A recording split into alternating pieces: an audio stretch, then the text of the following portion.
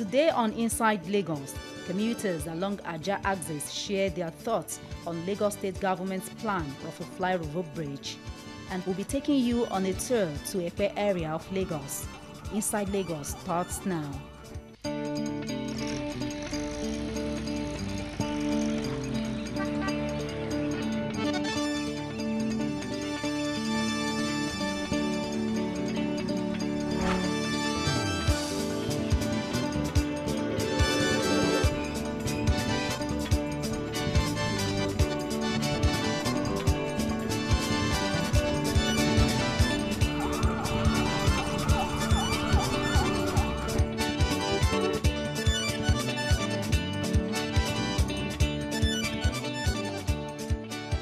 Epe is one of the largest zones in Lagos State. It is the country home of Governor Akinwumi Ambode, the incumbent governor of Lagos State. The zone produced the immediate past Speaker of the Lagos State House of Assembly. Today, I'll take you to the heart of Epe town and explore interesting stories for your viewing pleasure. I'm Adedoja Salam Adeniyi, and you're welcome to Inside Lagos.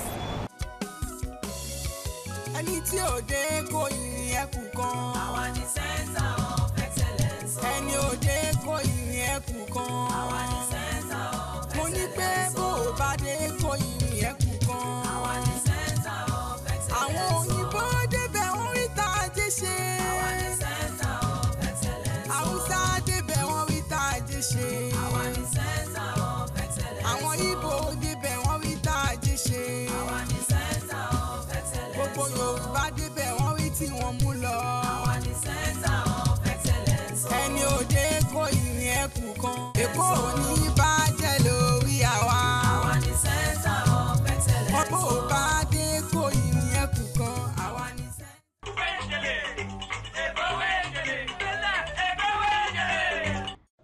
This is a gathering of individuals concerned about the activities of dredgers. Over the years, there has been uncontrolled dredging in Lagos State. This has brought huge crises along the coastline of the state. People go about just put their machines on the water start depleting the sand. Don't know environmental impact assessment no traffic impact assessment creating havoc along the line. I gave an example there where people are dredging so close to the atlantic ocean in some parts of the state people are even degrading land. We have dredges, you know, littering the whole of the Lagos lagoon and other waterways. And that activity, if not controlled, will cause the state to be devastated. You will see pockets and pockets of trenches being dug in the lagoon, and people will not even know that there are such trenches. If there is a boat mishap, people will be lost because you know they'll be buried in those trenches. In a bid to protect the environment from further degradation and regulate the operations of dredging companies, the Lagos State Ministry of Waterfront Infrastructure Development has suspended the issuance and renewal of licenses to dredgers. It has introduced guidelines to check on awesome operations. Speaking at a stakeholders meeting, the State Commissioner for Waterfront Infrastructure Development, Engineer Adebowale Akinsanya, said the days of illegal dredging, use of substandard and environmentally unfriendly equipment are over.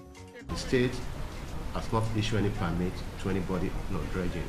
So, in some area, illegal dredging is still ongoing. Before I give you the license, you have to know what we are doing. So, uh, I give you the license at the same time. These are the guidelines that has been there. You are not following. It. So make sure you sign off on it. I agree with that. As I've said, some of them don't have environment impact analysis done, not approved.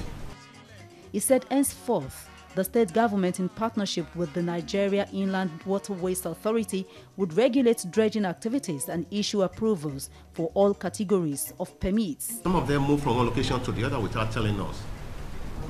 So that's something we need to tie down specifically. That you know, if you are going to move from point A to point B, you have to let the state know. You can't just walk away, you know, do things by yourself. So those are some of the things would be fine. And also safety on the water is paramount. They've done things with impunity. We've given them license, they do something different. So from what we said, it's guideline for relating to safety and environment. There's nothing new Exactly. Nobody is allowed to carry out any form of dredging activity or any activity per se within the state without the sanction and approval of government. That's basically what we're telling ourselves here. For now, the state government will no longer allow dredging activities in some areas. We're not happy about that, but it make it specifically make mention of a particular area, Ado Road, that they should stop dredging from now, based on the complaint about uh, the communities around the area. And it didn't specifically mention other areas that are dredging, but specifically mentioned Ado Road. But the rest of us said we should come and regularize our papers, which ended, uh, which expired last year. We should come and regularize it, and from there we'll move forward. Then we'll know where we're going from there. What we're just asking from the government is to give us time. You can't, a lot of us have invested millions, collected loans, you know, employed a lot of people, contracts, you know, on this dredging, and you can't just come and stop us. All we're saying is give us time. If you come up with your new rules and guidelines, just give us time to meet it. We met it the first time, and I'm sure we're going to meet it again.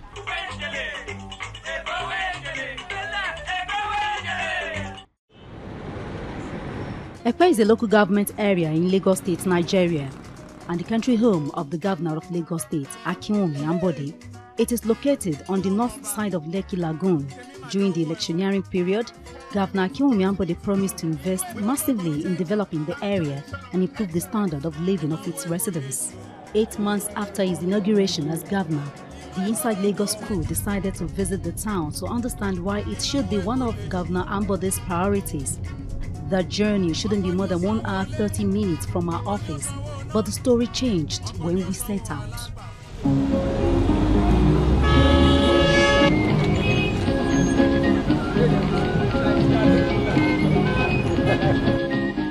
Traffic is a major concern for residents along this stretch. This is Aja. The traffic here is hectic. The thing is horrible. It's terrible. This, I mean, it's, it's, it's something else. I'm experienced very lot of hold up here every blessed day of my life. It's just like this every day. At least you spend nothing less than three, four hours. Okay, so We want an overhead bridge from uh, VGC, uh, from VGC down to um, Abraham Adesanya. I think that will resolve the hold up. Governor Akinwumi Ambode recently said he will build a flyover bridge at this roundabout to ease traffic congestion. But how did commuters receive the news? We know we, we had it, but they should do it on time. That's what we are expecting it on time. Let them do it. It's very, very nice. It will ease the problem here. You know, you know, we really appreciate it. We really appreciate it. You guys are doing the best. But let them fasten this work. Not that they will take a long time to do it. At least within one and a half years. I mean, I mean, it should be okay. the proposed flyover bridge by the Lagos State government on this axis is indeed not a misplaced priority. After interacting with them, we continue that journey. A ní mo jẹ́ kéké mo bùrè gbó gbá ó gbá ó gbá. mo bàbàjà mo múre dí ọ̀pẹ. ọ̀pẹ mi tì ó ṣe bójú ń pa àwọn ni. òjò pàkí lágbá kan kó dágbá kan sí. òjò pa mí kó má ṣe pọ̀ rẹ́ mi mọ́. èkó àkètè ìlú ọ̀gbọ́n.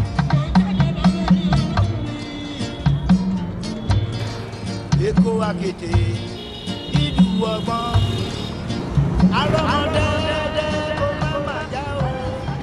As we arrived in Ekpe, our first port of call was the palace of Oba Okunola Adesanya, Alara of Ilara.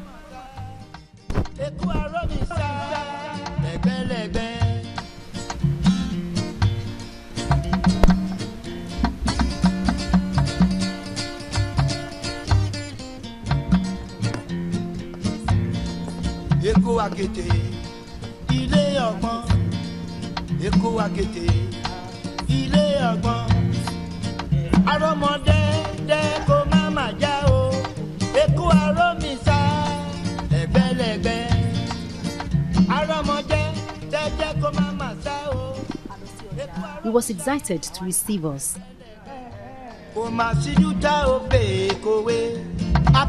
We exchanged gifts and talked briefly about the proposed development projects in Epe. ọmọ abínibí ni Àbọ̀- àǹbọ̀dé ọmọ abínibí ẹ̀pẹ́ division ni iṣẹ́ tí a rán ó sì mẹ́yẹ bọ̀ lápò ní fún development ìlú èkó. Ambode is the son of the soul of Epe. You can see the great works he has been doing, and that is just the tip of the iceberg for the development of Lagos. He has just started. Gómìnà tó lọ tí a kò ní gbàgbé. The former governor Babatunde Fashola worked a lot that we would never forget him, and he was a great governor in Lagos State. I am confident that Ambode will definitely do better than Fashola. ibi tí à ń bọ̀ de ti bẹ̀rẹ̀ wọ́n ní ara iwájú àwọn àwọn àwọn àgbà wọ́n kọrin kan wọ́n ní ara iwájú ò ṣe nǹkan tèrè ẹ̀yìn lójú èyí tá à ń bọ̀ máa ṣe ẹ̀ẹ́ tí ó ju ẹ̀gbọ́n ká díẹ̀ á tún ti Fáṣọlá lọ is a great governor in Lagos State ó ti bẹ̀rẹ̀ sí ní ṣe títì ó máa ṣe láṣeyọrí. Ambode has started reconstructing roads, and he will do it successfully. Let's just support him with prayers. ẹ àwọn ibi míì tí ìjọba máa bá bójútó tó máa develop ńlùú yìí ọ̀nà kan wà ńlára ń bí. Some places that I want the state government to develop is a road here in Ilara. We want them to reconstruct the road from Ilara Junction to Uji. Ibẹ̀- i- ìjì yẹn gangan ni omi ló omi ló wà ń bẹ̀. Uji is surrounded with water. The place is easy for the fuel tappers from Port Harcourt to transport themselves. So we want the Lagos state government to help us tar the road.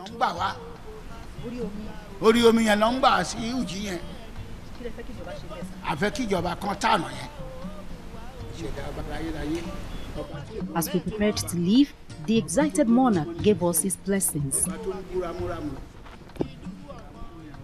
Recently, I read a report on the three year blackout in Epe and how difficult life was for residents here. So, my first assignment was to find out what has changed since Governor Akinwumi Ambode assumed office. Those that were most affected by the blackout recalled their experience. Some don't even have generator, not to talk of powering it. It really affected me personally then.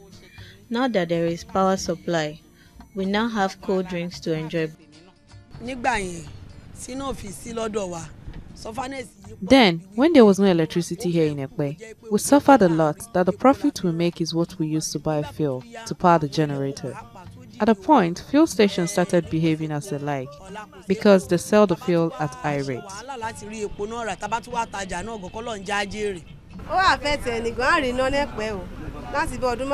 There was no light at all in Ekpe for like five years. It wasn't easy at all for my business, being a hairdresser. Recently, we've been having power supply, but we plead with Governor Ambode to keep up with the good work and provide us with stable electricity. sọjà ní kò ń ṣe ná. ó fẹ́ tó nǹkan bí five years.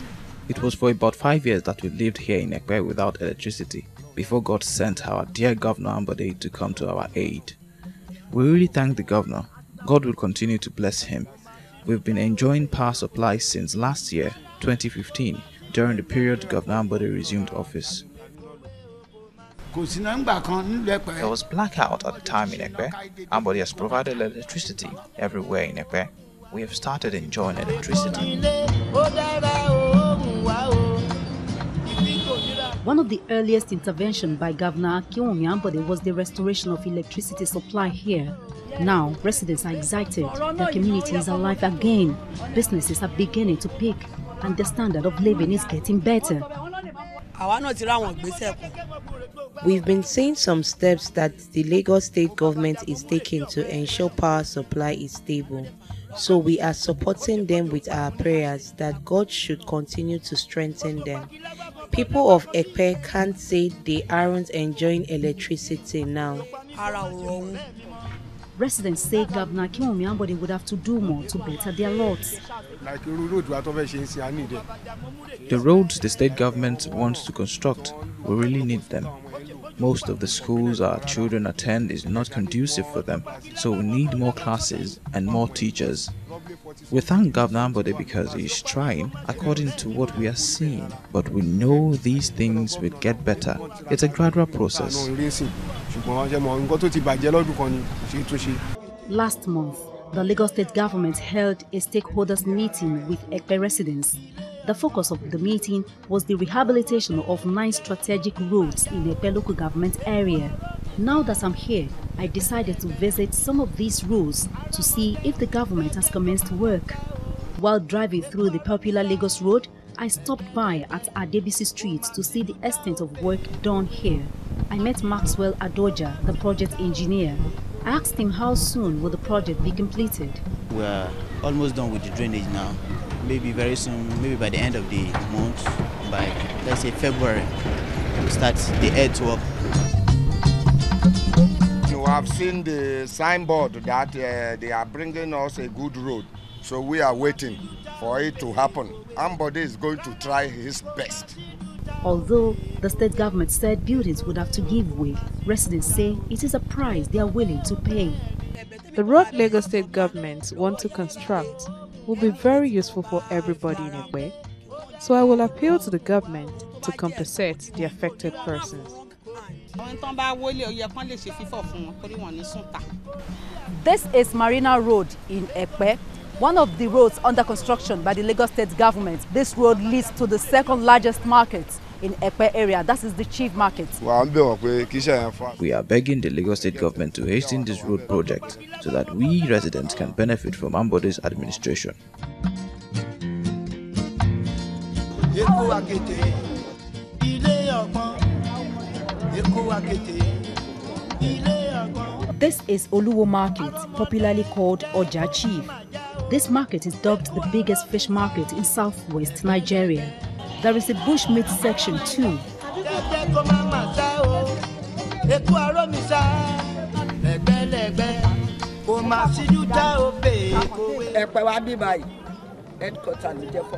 Epe is like the headquarter of fishing, especially this Oluwo market.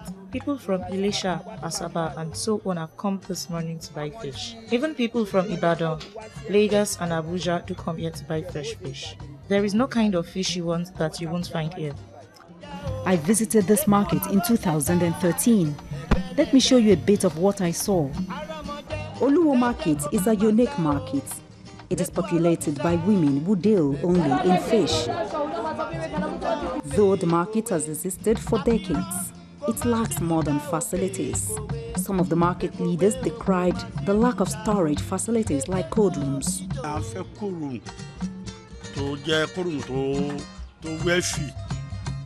À ń fẹ́ kóòrùn tó jẹ́ kóòrùn tó tó wẹ́fì. kò sí toilet. No toilets, no water. One toilet is under construction for the past 11 years. bomi máa mẹ lomi ìdèbí bá gbogbo ibi tá ń wò. Flood is another problem women in this market contend with. Whenever it rains, buyers stay away and sales come to a standstill. This is the live fish unit of the market. Here, Mujisola Aderohun says women stay with their baskets of fish inside the water from morning till night, preserving the fish and waiting for buyers.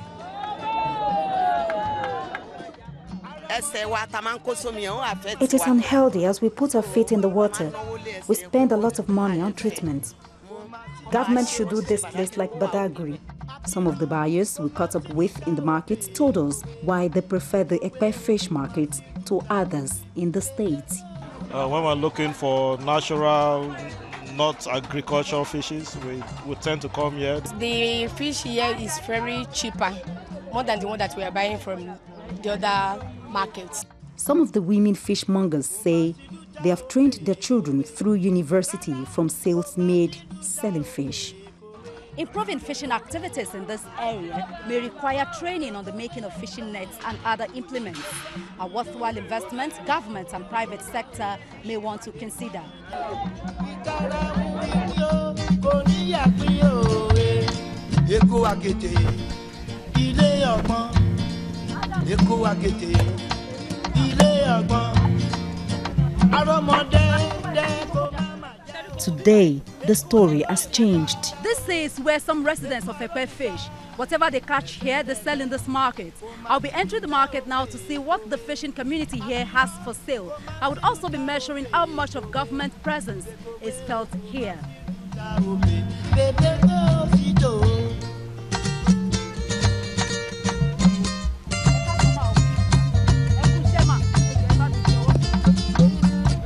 As we arrived, the market leader spotted us.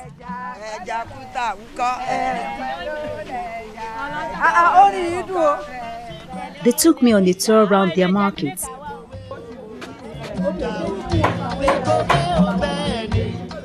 They showed me new stores built by the state government to support their businesses.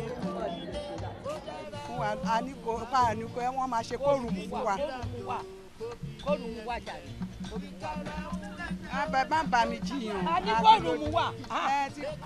Màá mú yín débi kóòrùmù. Ẹyin màmá mi ẹ rántí. Àwọn làwọn kóòrùmù wọ́n ṣe dáadáa fún wa bí wọ́n ṣe kóòrùmù fún wa. Kóòrùmù tí wọ́n dẹ̀ ṣe fún wa yẹn. Lagos state government already provided a cold room for us, but they said we should buy diesel ourselves to power it. They didn't demand any money from us. The cold room is inside. I will show you.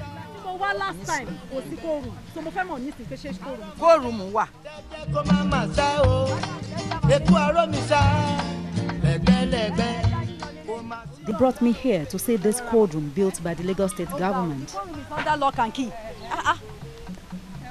Lagos State Government Ministry of Rural Development. Hmm. In view of the blackout in Ekpe, the state government installed a power generating set to power the facility.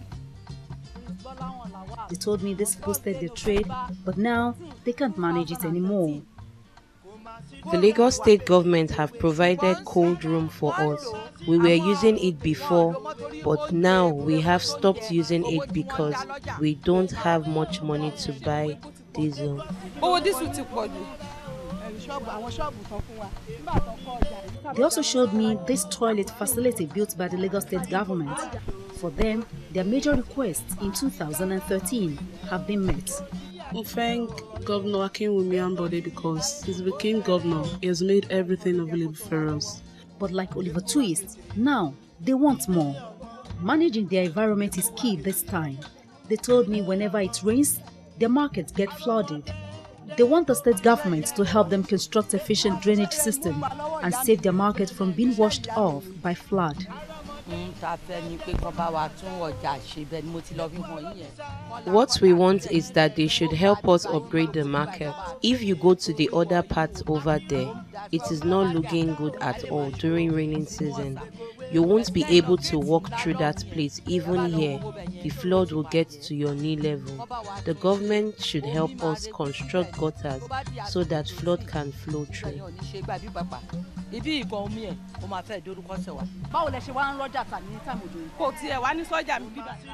Our customers complain about the mud here and it affects our sales.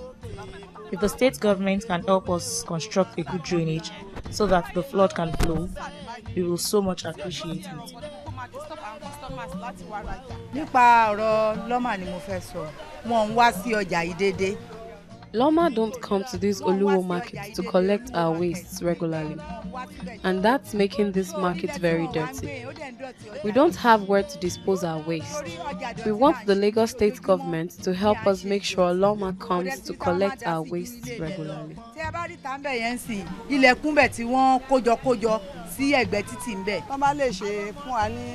We will appreciate if the government can give us boats, hooks, and other equipment to easy fishing so that we can have more fishes to sell. Wọ́n máa rí ẹja yẹn pa tó máa pọ̀ rẹpẹtẹ tó jẹ́ pé ó máa kárí. Àní kò sí mọ́ láàrin ọjà. Iná ti wà lẹ́pẹ̀kẹ́. Iná wà lẹ́pẹ̀kẹ́. It is true that there is power supply in Epe, but there is no electricity here in the market, and this hinders us from trading with the fishermen at night when they arrive. We do preserve our fishes with ice blocks in a container since there is no light to power the freezer. Night was approaching. We had to leave. But before I do, I decided to buy my favorite fish. I have a customer here. I had lots of fun negotiating how much to pay for each of these baskets. After much talk, I bought five. Don't bother to know the price. It wasn't expensive after all.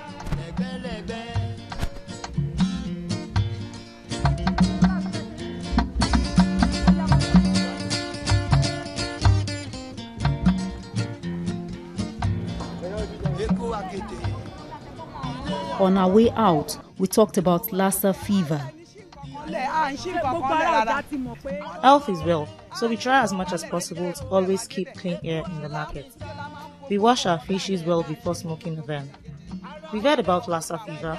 We make sure we lock our waste well so that there won't be any form of diseases here. màmá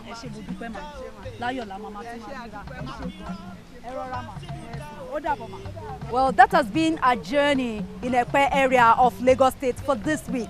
Your town might be the next, so keep watching inside Lagos. I'm Adedoja Salam Adeniyi. Many thanks for watching. Bye bye.